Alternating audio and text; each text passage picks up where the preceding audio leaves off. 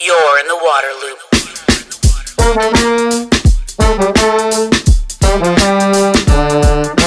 Waterloop, Waterloop, Waterloop.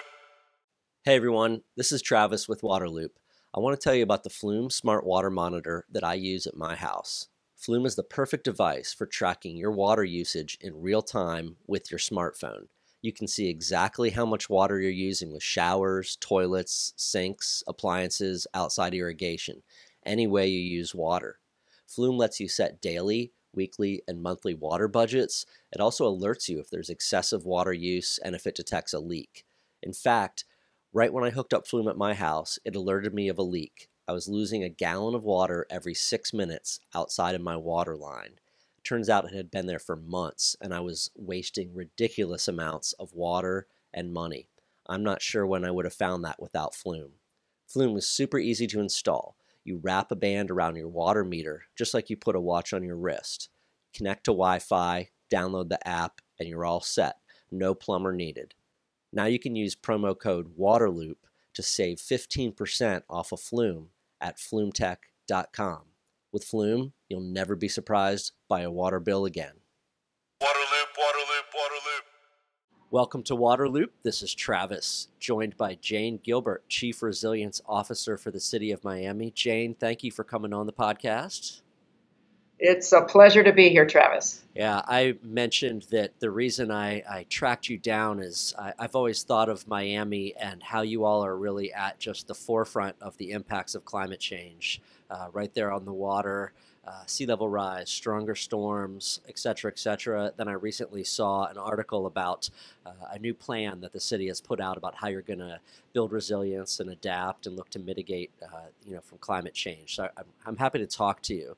I'm really curious. Um, what are the effects that you're already seeing from climate change in Miami? Sure. So uh, the first is probably the, the the impact that we're least known for, which is increased heat. But it's quite common throughout, right? We've always had a tropical climate here. And so Miami's probably better prepared for increased heat than other communities. Most of most everyone has air conditioning, and so we're pretty prepared. But um, we've had 70 more days over 90 degrees a year since 1970, and that you know when you have young kids playing outside, outdoor workers, whether they're construction or landscape workers or, or park staff, uh, when you have elderly or people with pulmonary uh, respiratory diseases, it, it, it makes it more difficult. And with the increasing impacts of storm, if you have a major power outage during a heat wave uh, where people can't access that air conditioning, that can also have um, the biggest impacts to human health and life, more so maybe even than the flood risk, um, just because of, of, of, that. So I wanted to start with that because it's not the first thing in people's mind. Miami is does have more real estate assets at risk than any other city in the world to the impacts of sea level rise and storm surge, as as articulated by the United Nations, not by us.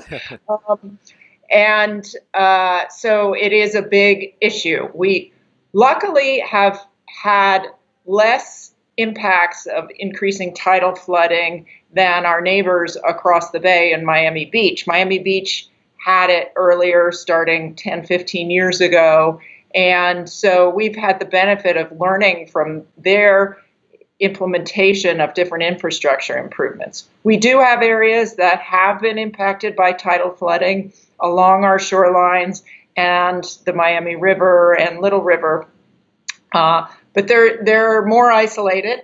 And what we've done in the last year is put in 50 uh, backflow prevention valves, tidal backflow valves, to keep the water from going back up our storm surge, uh, storm sewers on a Sunday. That's had a great impact. Um, so I'll get into other things we're doing, but just to finish the question around impact. So, so increasing tidal flooding, because Florida is built on a limestone bed, it was a coral reef many thousands of millennial years ago. Uh, we have a porous limestone. So as the sea rises, so does our groundwater. And so that diminishes our drainage capacity for increasing more intense rain events. So we have flooding coming from the bay, we have it, you know, from below, from above, uh, and even, you know, from the side pressures from, from the Everglades. So um, that's the sort of more chronic flooding. And then you mentioned storm risk. So we've always been vulnerable to hurricanes. We've had 31 hit Miami since the mid 1800s. But with climate change, the impacts of storm surge are, are greater because of the sea level rise. The uh, because of heat heat heat up oceans, we're seeing more intense wind, and we're seeing, as you saw with Harvey and Dorian, higher rain events, and and the storms are sitting over cities or sitting longer periods of time, so more time to dump rain and have impacts. So so those are more. We're not seeing more hurricanes necessarily, but the impacts are greater.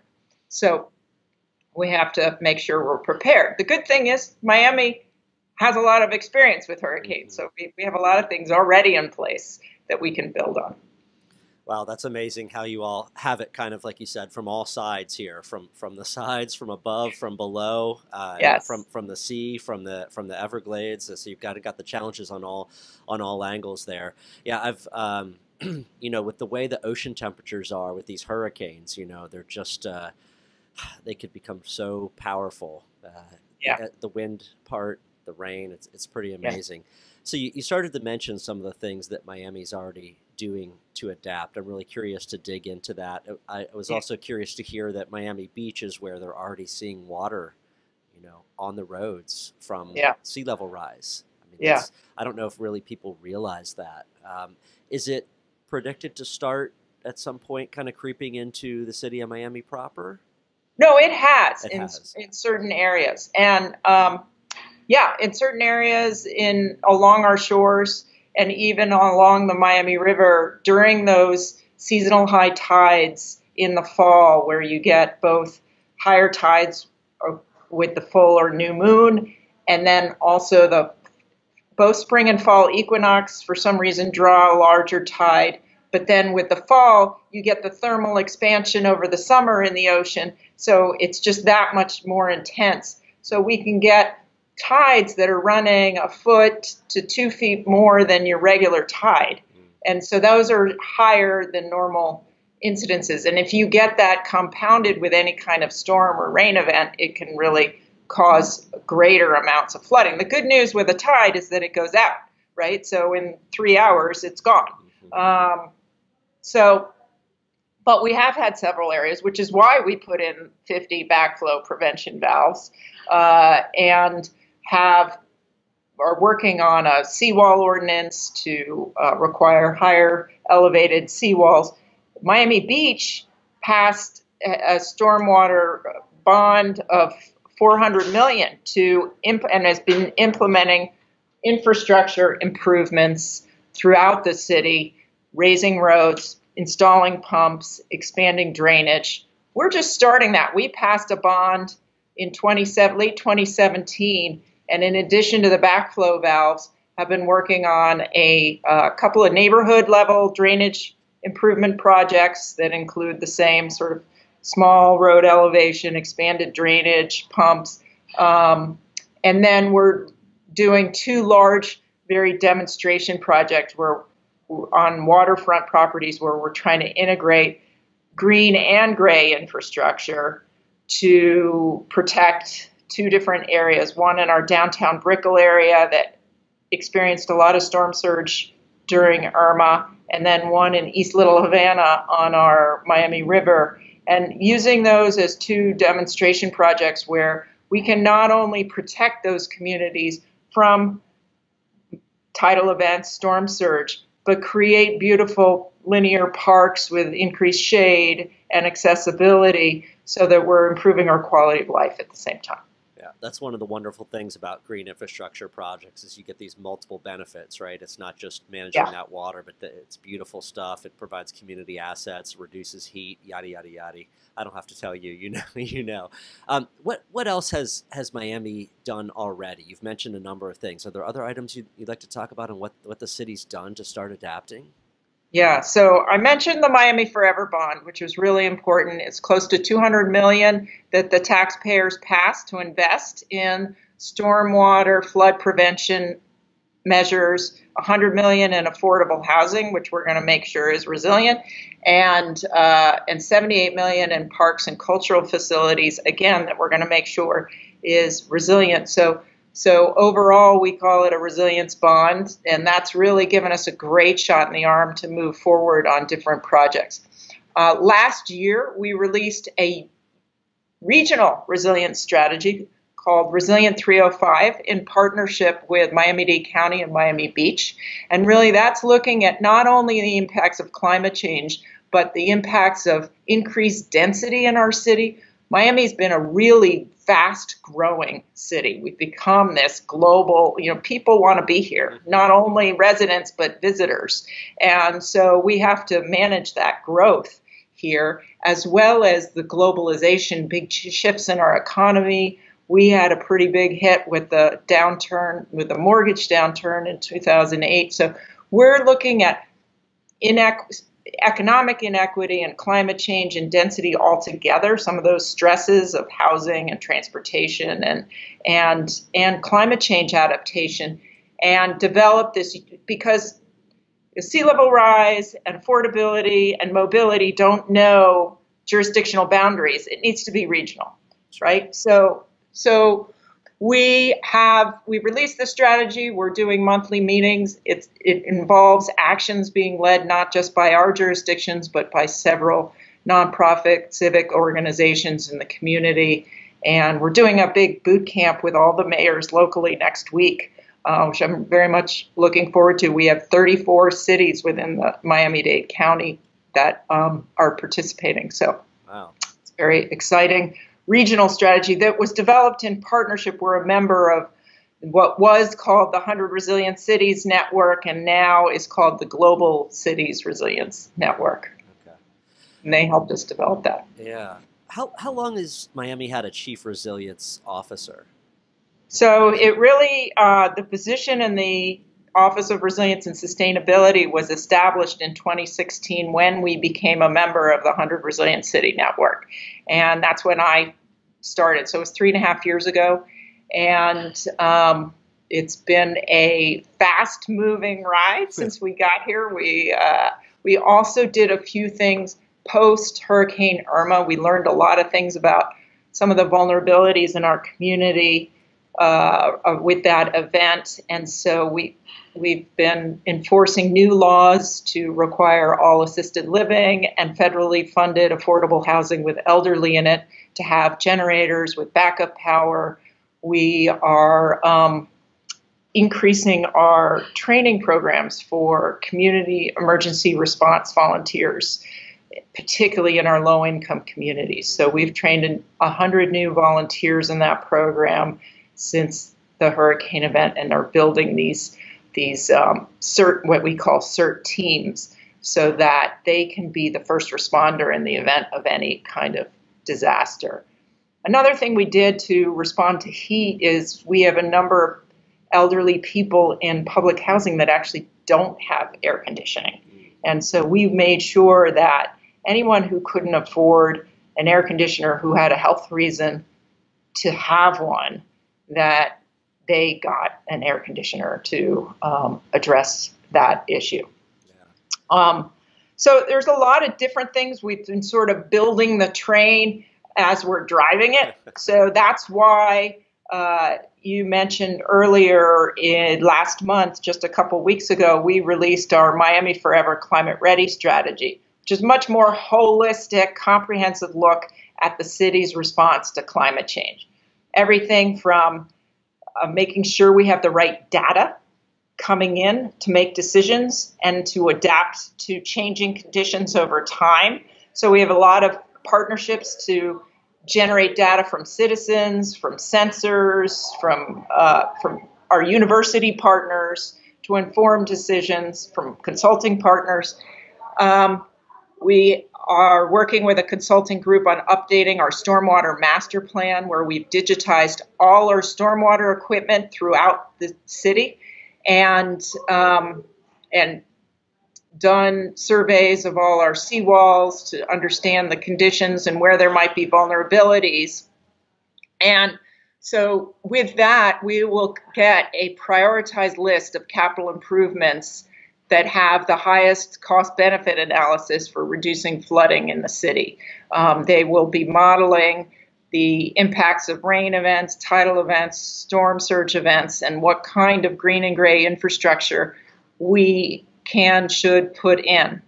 So that's that's data driven, that's the infrastructure side. Now we need to think about land use, right? It's also the private realm. How do we help our property owners give them the guidelines and tools to either adapt their property or build new uh, in a stronger way?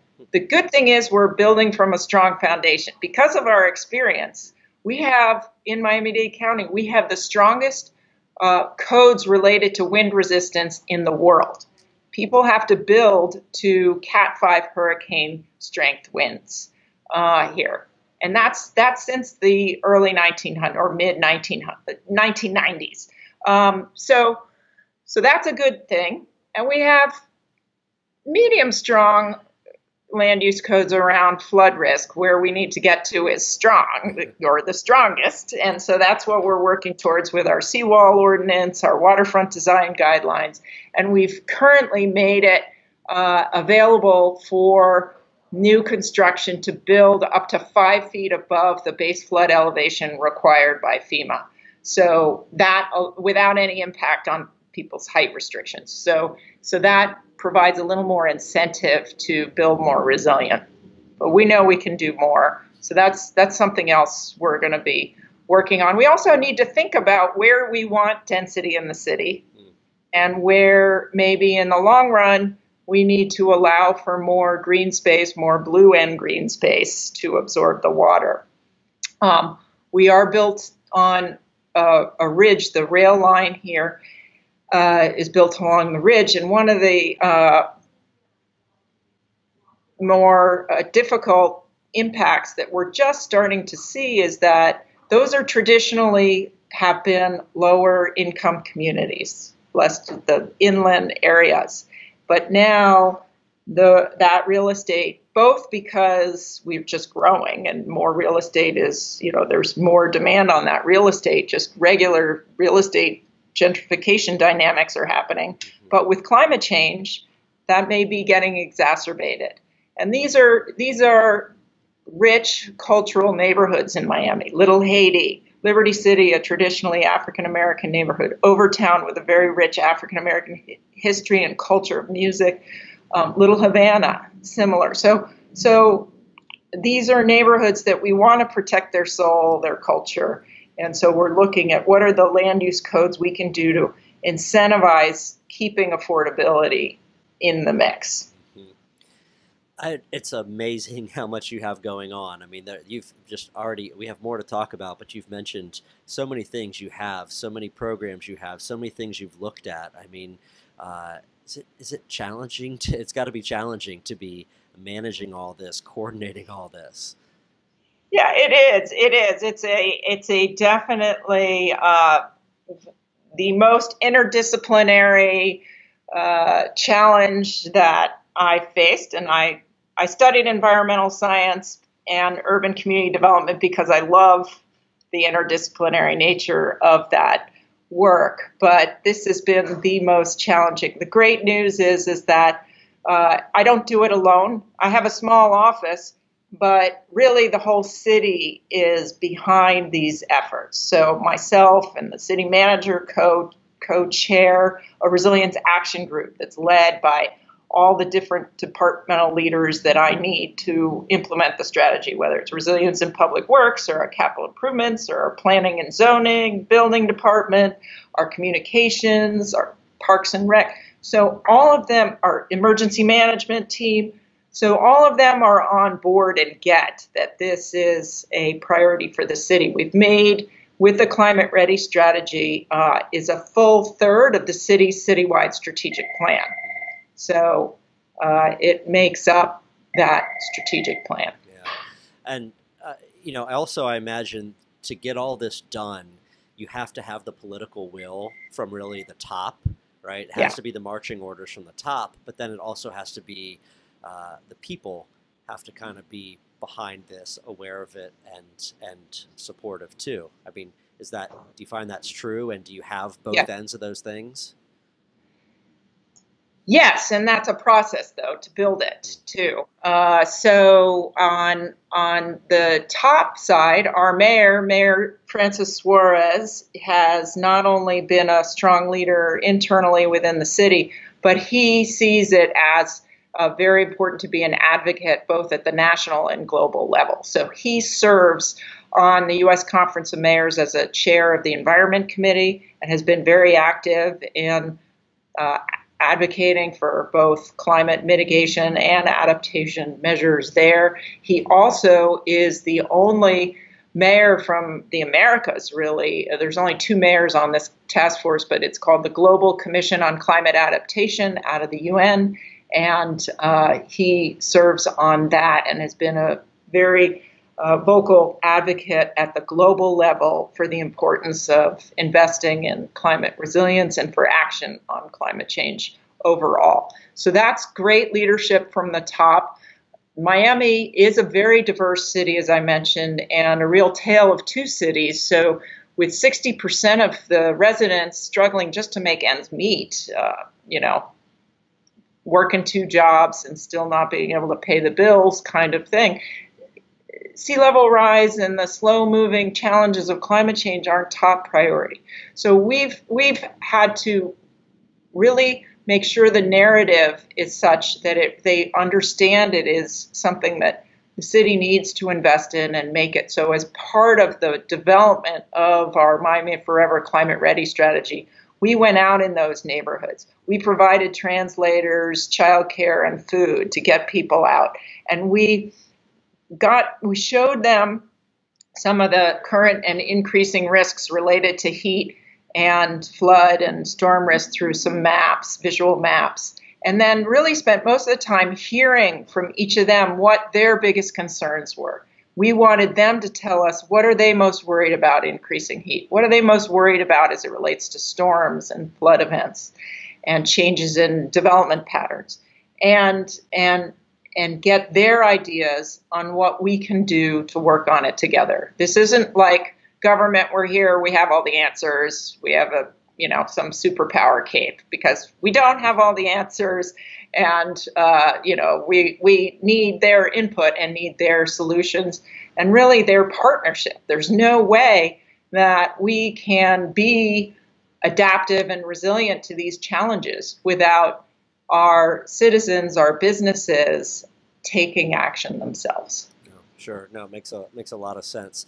Um, jumping around a little bit, you know, sea level rise. I'm I'm just still fascinated by this because I've seen so many maps around the world that says, hey, in 2100 it's going to look like this, right? This part's Yeah. underwater and that's underwater. Um, you've mentioned some of what's happening already, changing in codes, things being built higher. Um, I don't know if it's right to ask if parts of the city will have to be abandoned. You mentioned maybe parts of the city will have to be thought of differently. Well, maybe this has to remain an open space. I've always wondered, you know, are different cities going to have to become more like Venice? Are we going to have to live on the second floors of our buildings and get around in different ways? So, what's kind of uh, there's maybe five or six different angles or questions in what I just said there, but what's I want to I want to dig into that that thinking of like really long term, know, Yeah. 50, 100 years from now. Yeah. So in all our plans, we think of this as as adaptive, right? So you wanna you want you don't want to build infrastructure that probably won't last more than 40 years for a 2100 plan, right? So you want to build for 2060 right Mhm. now if Mhm. it's a 40 year lifespan. So we're using 2060 sea level rise projections for some of our stormwater infrastructure, for instance.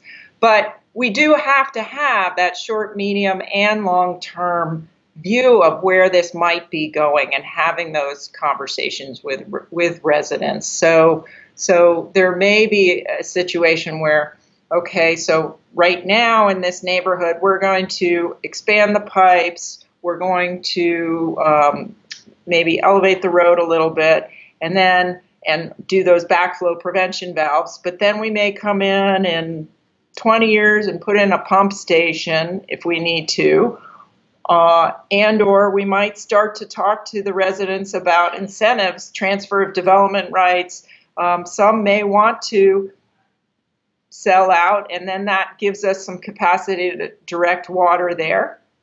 Uh, and and maybe we put some increased density in another area where we can actually invest the dollars in the infrastructure. So I think it's going to be very site specific we I've had just conversations earlier this week with someone who was proposing a pilot of converting some homes into amphibious foundations. Wow. In other words, having pilings on, uh, on along the corners of the home and some sort of floatable device that can work with with a tidal event you it would just rise up. I guess they've done this in some areas of europe.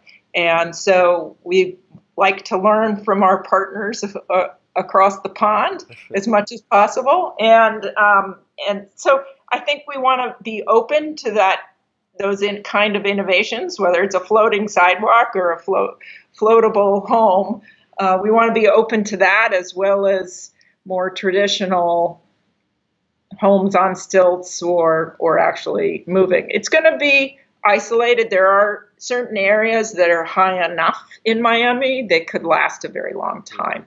So that's why we want to think about how do we really invest in those areas because it's going to be cheaper to handle the infrastructure in, in those areas. But when you see those maps of two, three, four, five feet of sea level rise, they do not take into account what the cities might be doing to invest in protecting those areas. I see. So that's with inaction. Mhm. That's what it looks like. But as we elevate roads, as we elevate seawalls, as we put in other infrastructure and people protect their homes, it, it could look different and uh, not quite as dire. well, that that was really interesting. That idea of an amphibious home, and I I mean I've seen Yeah. this is common with a lot of piers or docks, right? They can go up and down on the on Exactly. the pilings. with- exactly. with In the fact, it was a firm that was doing that work that is the one that's um, expanding into this type Yeah. of. and like you know these these things might sound uh, very different or strange or whatever, but I mean this is we have to be open, we have to be creative, we have to be innovative. I mean this is kind of the the new world that we're headed to. Um, Yes. Human engineering is amazing, so let's see what it can come up with. Yeah. Yeah. Um, I'm, I'm curious about, I've, just in the news lately, there's been a lot about the rate of climate change maybe accelerating or some of these things accelerating, right? The pace picking up, especially as ice is melting. And I think it, that we just are hearing about Antarctica being in the mid 60s and upper 60s. And um, what does that do to your, your mindset uh, as you're doing all this planning? Like, okay, maybe the, the forecasts might not be right. So we have the advantage here in South Florida of a multi county compact called the Southeast Florida Climate Change Compact. And one of the things that we uh, came together to do was establish unified sea level rise projections for our planning purposes. And and because you know the seas know no boundaries, it's better if we're all planning on the same level. We know that those are, are going to change over time. So just in December, they released the updated projections, right? We had 2015 projections, now we have 2019 projections. And so that gets cooked into our, and will be cooked into our stormwater uh, infrastructure planning. But that, that lends itself to the point of why it's so important as we design, whatever we're designing, a drainage system, a seawall, a, a building, to think of adaptability in mind. So uh, when we're building a higher elevation seawall, make sure that it's built with the kind of construction that you can just add on top of it rather than having to reconstruct a whole seawall. Or in our freeboard ordinance where we were allowing buildings to build higher, we also, for large commercial buildings that may not want to build their first floor really high because it's not as accessible to a pedestrian, they can build their first floor ceiling higher and uh, and not have an impact on their overall height, and they can adapt their floor Wow. over time. Wow. Uh, so we have to have that adaptability mindset in all our design and thinking Yeah. because of those changes. There's so much unpredictability in terms of we really haven't figured out what the changes in precipitation patterns are yet. So so that's one of those things that's going to be tested. That's why we need greater flood sensors out there and really be able to understand how the um, to verify our models essentially. Sure, sure. Uh, something you mentioned earlier, I, I want to follow up on is also, uh, you know, maybe the economic impact of all of this, or how climate change impacts the financial picture for Miami and how it adapts. You know, uh, the different revenue sources you have, the different expenses you have, and how that equation might might uh, change as the landscape changes, as the climate changes. Yeah, no, that's a critical question and a question we um, we kind of lead with with our with our strategies. So uh, we already participate in the National Flood Insurance Community Rating System, which allows our residents to get a 15% discount in their insurance rates. We are going uh, looking at a strategy to get a further reduction in that in terms of, and that's through different uh, land use and building codes, education outreach tools, et cetera. Um, and then we uh, talk a lot with Moody's and Fitch bond rating systems, right? So, so they've gotten more sophisticated in their questions around what Miami's doing to address its climate risk. And so far, because Miami has been so proactive and putting dollars into in its investments and attracting matching dollars from state and federal and private partners. Um, because of that, we actually have a higher bond rating than we've ever had in, I think, in Miami's history. It's a double A. And part of that's just good financial management. It's not all about the climate risk piece, but but um, but that's an important component of it. And so, as we come out with this stormwater master plan, it's really important for us to look at the what's the business case here? What's the what are the impacts of inaction on our property values, insurance rates, ability to get a mortgage, et cetera? And then what are the benefits if we uh, do these investments to preserving property values and the economy and all of that, and and really to help uh, both figure out where we invest the money, but also to attract uh, financing and funding to invest in it. Uh, it's a critical it's a critical question. Certainly, most of our income is from property taxes, so we we are dependent on those property values maintaining. Sure. Well, uh, that's interesting. Hopefully, some other communities that aren't quite as uh, active, you know, on climate change will be incentivized to move move things along, you know, by by these big firms and and the bond people and all those folks that are really realize the reality of this and and the economic impacts it can have. Right. Um, I also want to ask, you know, about uh, how you guys work with the state and the federal government on this, um, because I, I think all levels of government are necessary in this in this climate Yeah. response. And so, what's what's your relationship with with the state of Florida, with the federal government, federal agencies? How how does that work? How are they helping you guys along? Yeah, great question. So I would say with the new governor coming into the state of Florida, Ron DeSantis, uh, it's really changed for the positive. The former government was uh, not terribly active or even denied sea level rise and climate change. Um, this one is much more supportive, has hired a chief resilience officer, has invested more in funding for coastal resilience and more for overall climate risk vulnerability studies at the state level, and particularly done a lot of investment in protecting water quality, which is also another impact of climate change. Um, and then, uh, so that's been a great uh, a very welcome improvement. And actually, the state helped fund part of our stormwater master plan, as well as some of those backflow prevention valves I meant. They provided us matching funding for both of those investments. We continue to seek other grant funding with them, as well as at the federal level, we are we, the city of Miami and the county, are partnered with the Army Corps of Engineers on a study, longer term infrastructure investment to protect the city against the impacts of sea level rise and storm surge. And this is something that, if approved, the federal government would pay 65% of the investment. It's in the billions of dollars of investment. And then the county, state, and city would be putting in for the some combination of those three for the remainder of the 35 percent. Um, these are major storm bar- surge barriers on our rivers and and um, and even much larger walls around our our largest, most urban waterfront. A lot of issues to address with those proposals.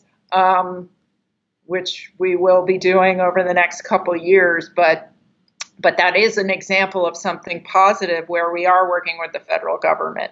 Uh, as you know, and your listeners know, the federal government in general has taken uh, a slower pace, much slower pace, if not a reversal pace, in really addressing the impacts of of climate change, and that's something we really need to turn around. We, you know, let's first start with addressing the root causes, and and because at the federal level and the international level, that's where we really need leadership on carbon mitigation, and um, maybe using those policies to help invest in adaptation you've mentioned a couple times uh, where Miami is kind of in the international scene. You're part of the the international yeah. coalition of cities. Uh, you've got some of the strongest building codes in the world, and all these yeah. kind of different pieces. But um, what are some of maybe the, the other cities in the country or other cities around the world um, where you have maybe a, a real nice partnership with or you've really learned from or you're keeping an eye on because of some of the things they're doing or maybe some similarities in the you know, situations yeah. you're facing yeah, absolutely. So we leaned heavily on Boston's climate adaptation strategy when we created ours. I thought it was really strong, and their, and particularly their their treatment of the waterfront was really interesting in terms of a combination of green and gray infrastructure. So I've turned to them. New York has a very robust program and plan. Of course, they have more resources than the city of Miami, but they, you know, their design guidelines for infrastructure are really robust, as well as their carbon mitigation plans. City of Norfolk uh, is also been very active. They have a double challenge of both sea level rise and subsidence of their land, so uh, very vulnerable. So they've definitely done some uh, important work there that we've learned from San Francisco. We've done some learning. So those are the U.S. based. I would say Rotterdam and Amsterdam. You know, the the Netherlands.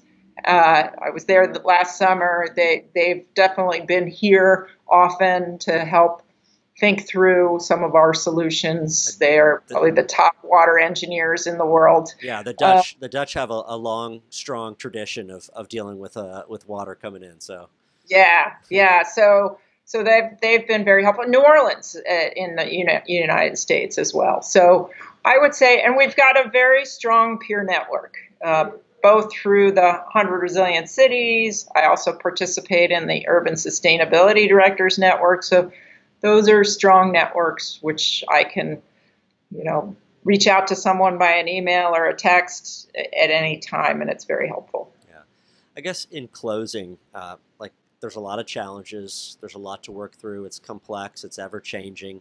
But what makes you optimistic uh, about Miami's ability to adapt and about having a, a resilient, sustainable future there? I think the level of activity and passion and interest in this city to uh, address this challenge is what gives me the most hope. And it's really from all sectors. We have our chamber on board making this their priority. We have certainly many nonprofit partners and community based partners. And then the various jurisdictions I mentioned, we're going to be getting together with all the cities next Tuesday. So, so that kind of momentum, that kind of, there's something going on about how the city's responding to this challenge every day. There's not, I can't be at everything. There's so much going on. So that's one. I think the other is that Miami has already demonstrated its resilience to so many challenges in the past, whether it's a hurricane challenge or a big immigration wave or a economic collapse. And we've not only bounced back, but we've thrived in the face of all of that. So that also gives me um, gives me hope. Fantastic. Well, Jane, I'm uh, grateful for your time. A lot of great information. I can't wait to keep watching what's happening down there in, in Florida. Uh, but thank you so much. Really appreciate it. Thank you, Travis. Thank you for the opportunity. Waterloop, Waterloop, Waterloop. Thank you to the sponsor of this episode, the Flume Smart Water Monitor, that tracks your home's water use 24 7, alerting you to excessive water use and leaks. Use promo code Waterloop now for 15% off at flumetech.com. You're in the Waterloop.